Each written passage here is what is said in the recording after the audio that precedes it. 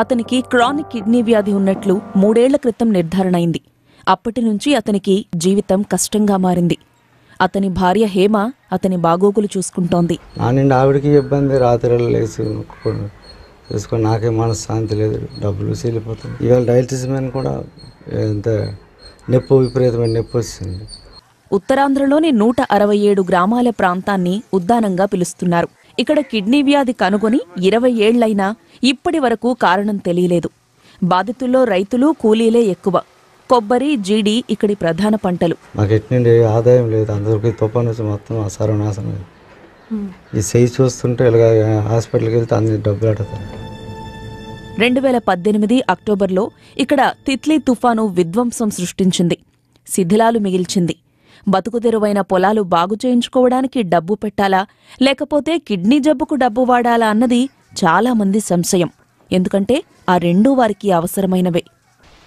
ఒక పది మందికి ఉంది మా ఫ్యామిలీలో జబ్బు వచ్చిందంటే చనిపోతారనే మాకు తెలుసు కానీ మరి జబ్బుకి ఏదైనా మెడిసిన్ ఉందా లేదా అనేది మాకు తెలియదు. Indian council for medical research Harvard university ఉమ్మడిగాను king George ఆసుపత్రి ఆంధ్ర విశ్వవిద్యాలయం ఎన్టీఆర్ ఆరోగ్య యూనివర్సిటీ ఇలా ఎన్నో సంస్థలు దీనిపై సర్వేలు అధ్యయనాలు జరిపాయి. ఎన్నో సిద్ధాంతాలు ప్రతిపాదించారు. కానీ ఏ అధ్యయనమూ పూర్తిగా నిర్ధారణ కాలేదు. అనేక ఆందోళనల తరువాత ప్రభుత్వం ఒక అధ్యయనం చేయడానికి నిర్ణయించింది. రెండు వేల పదిహేడు తరువాత ఆంధ్ర ప్రభుత్వం పలాస సోంపేట కవిటిలలో డయాలసిస్ కేంద్రాలు ఏర్పాటు చేసింది. ఈ కేంద్రాల్లో పెద్ద సంఖ్యలో ఎదురుచూపులు తప్పవు. ఇక్కడి డయాలసిస్ ఖర్చులను ప్రభుత్వమే భరిస్తోంది.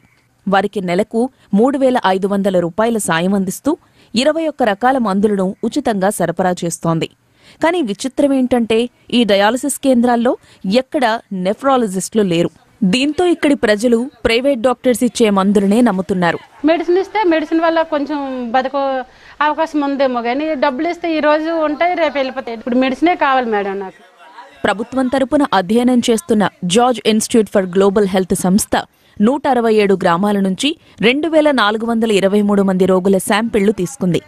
ఆ పరిశోధన ఫలితాలు ఇంకా వెల్లడి కావాల్సింది. ఈ వీడియో మీకు నచ్చినట్లయితే లైక్ చేయండి షేర్ చేయండి సబ్స్క్రైబ్ చేయడం మాత్రం మర్చిపోకండి.